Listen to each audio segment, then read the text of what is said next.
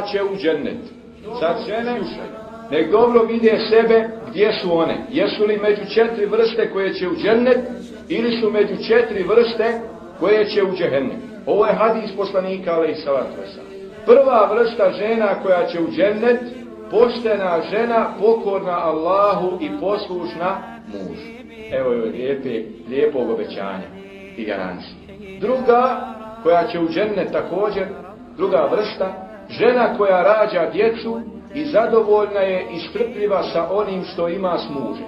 Zadovoljna je i strpljiva s onim što ima s mužem. Treća je moralna žena, moralna, poštena, stidna žena, koja je poštena kad je muž odsutan, kad bi muž otišao na kraj svijeta, ne boji se za nju da će učiniti blud, ne samo da će učiniti blud, nego da će gledati na stranu, da će gledati na televiziji bilo šta, da će gledati preko interneta kakve gluposti i šeitanuke.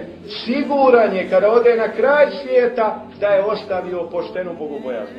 Jer nije samo blud, blud je i očma i tako dalje. Dakle, bite, a kad je, kad je tu, kad je muž, nastavlja se dalje opis ove, ove sljedeće kategorije, žena, a kad je tu, ne uznemirava ga svojim jezikom. Ne uznemirava ga svojim jezikom. Jezik što može insana uznemiriti, toga ne može uznemiriti ni vojska. Žena, sljedeća kategorija, četvrta vrsta žena koje će u džennet, žena koja poslije smrti muža ostane moralna dok joj Allah ne da izlaz. Dakle, žena koja nakon smrti svoga muža ostane moralna. To je veliki ispit, garantuje joj se džennet. Wallahi, velika je nagrada, velika je garancija.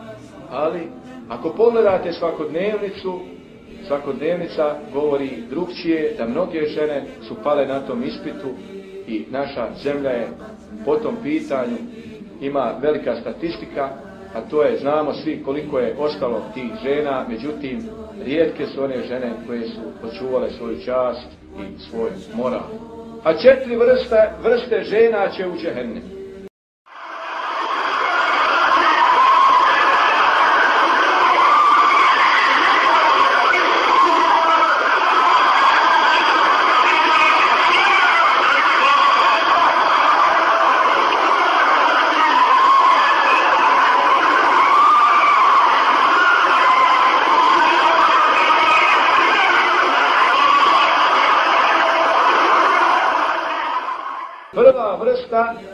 Žena koja ezijeti svoga muža svojim jezikom. Žena koja uznemirava svoga muža svojim jezikom, a u njegovom odsustvu gleda na stranu. Nije moralna. U njegovom odsustvu nije moralna. Ne može garantovati, nije siguran kad ode u Japan da je ostavio u Bosni ženu, ženu koja je sahi i koja je poštena. Zatim druga vrsta, žena koja obavezuje muža onim što on nije u stanju. Allahu Daj ovo, daj ono. I, I, gdje su, gdje je kraj njezinih želja? Nema insana koji to može izdržati. Dakle, pretjeruje u dunjalu, zaljubljena u dunjalu, zaljubljena. I onda opterećuje svoga muža i preko, preko njegovih mogućnosti. Treća vrsta žena, žena koja se ne oblači propisno i izazovna izlazi iz svoje kuće svojom, svojim oblačenjem privlači druge muškarce na sebe pažnju njihovu i dakle jednostavno nije u, u, u duhu islamski, islamsku, islamskih propisa oblačenje. Dakle, žena koja se ne oblači propisno i izazovno se oblači tako skreće pažnju na I četvrta vrsta žena koje će u vatru, a poznato vam je kad je u pitanju treća kategorija hadis, dvije vrste ljudi nisam vidio, što je rekao poslanik Ali To je ono, jeli oni što udaraju ko kravlji repovi ljude nepravedno i one žene koje su pokrivene otkrivene. Pokrivene otkrivene. Znači, ne uzbila provi ona ko, ko nešto samo formalno stavi, ali u stvari se sve vidi kroz to. I takve osobe poslanik se izrazio, nije sam ih vidio. A učenjaci kažu koliko su te osobe zle i koliko su pokvarene osobe da Allah sačuvao mu bare koći poslanikove da vidi takve osobe. Pa dovoljno je ovo sestri muminki da bude moralna i da se lijepo pokrije i da takva izlazi na ulicu. Kada bi odma nastupilo bilo šta, ti u ime Allaha to uradi dobit ćeš nakon. Ne obraćaj pažnju ni lijevo ni desno šta kažu ovi šta kažu. Pokori se svome gospodaru i ne boj se da posljedica Allah se brine o te. I zatim sljedeća kategorija, žena koja ne pridaje važnost ničem drugom osim jelu, piću, spavanju, a zapostavlja namaz i pokornost Allahu, poslaniku i svome mužu. Kako je ovo fino opisano ove, ova kategorija žene. Vallahi koliko je ima samo Allah. Vidite kako. Znači samo jelo, piće, spavanje i to je vrhunac njezne pameti. Vrhunac njezne škole. Da ima popit, pojesti na spavanje. Spava do podne, ima pun frižider, hrane, pića i tako dalje i samo bira. I opet na kraju kaže ako joj nije samo donio po želji njezino ono što ona kaje, nisi mi nikad u životu valja. Istinu je rekao Allahu poslanika Veša.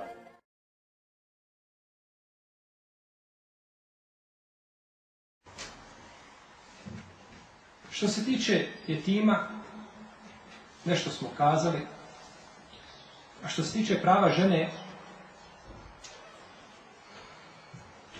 ja u mojoj duši imam jednu manju enciklopediju koju kada bih počeo govoriti čini se da bi se rasputnuo. Poslanik sa osrme kaže ja štitim pravo žene. Znači, svaki nasrtaj čovjeka na ženu je nasrtaj na koga? Na poslanika sa osrme. Tako je, ne može biti drugačije nikako. Htjeli mi to prihvatiti ili ne htjeli, tako je. I ne može biti drugačije. Kogo drugačije razumije, pogriješio. Poslanik sa osvrame štiti pravo, štiti pravo žene. Uvijek sam govorio, žena koja odbije supruga u postelju, a zna hadisa u kojima se kaže da je proklinju meleki do saba, je jedna od dvije žene. Ili nema pameti, ili nema potpune vjere. Treće ne može biti nikako. Ili nema razuma, ili nije shvatila svoju vjeru, nema potpune vjeru. Jedno do tu dvoje. Da zna da je proklinju svi meleki, koliko ih ima, ako je došlo u hadisu. Lanet hal melaike, svi meleki. Da te proklinju svi muslimani 15 minuta, trebao bi dobro da se zapitaš gdje ćeš i šta, će, šta je s tobom. A šta misliš da te proklinju svi meleki do sabaha? No, međutim, isto tako kaže, čovjek koji zna hadise, koji govore, ove hadise koje smo spominjali, i druge, Najbolji od vas su oni koji su najbolji prema svojim ženama. I pored toga se ne ophodi prema ženi lijepo. Takav je čovjek jedan od dvojice. Ili nema pameti, ili nije shvatio. Nema treći. Znaš da ti je poslanik rekao, ja štitim pravo njeno. Kažeš, jes Allah poslaniče, ja sam spreman da se obračunam s tobom. Lijepo je. To je tako značenje. Postupci su takvi i takva su značenje. A oni koji su zagrizli u svojoj osorosti, odbezbijede svojoj ženi i posebnu njegu na intenzivnu njegu. Ja štitim pravo dvojice, jetima i žene. Pa čovjek koji se ne ophodi prema ženi na najljepši način, on nije iz svojih prsa ili udara ženu, ili govori ruža riječi. On nije iz svojih prsa izbacio džahilijet koji je bio u njemu. Džahilijet je u njegovim prsima. Samo što je brada prekrila džahilijet pa se ne vidi. A da je makne, vidio bi se džahilijet. Pa je neko na njega navukao uniformu islama, a unutra je ostao truhli panj. Ništa promijenio nije. To u islamu nije tako. U islamu muž u kući nije kao boj nego je muž. A muž je da budeš kao što je bio poslanik sallallahu alaihi wa Da se lijepo opodiš sa svojom porodicom. Braćo moja, ova, ova vjera ima svoje temelje.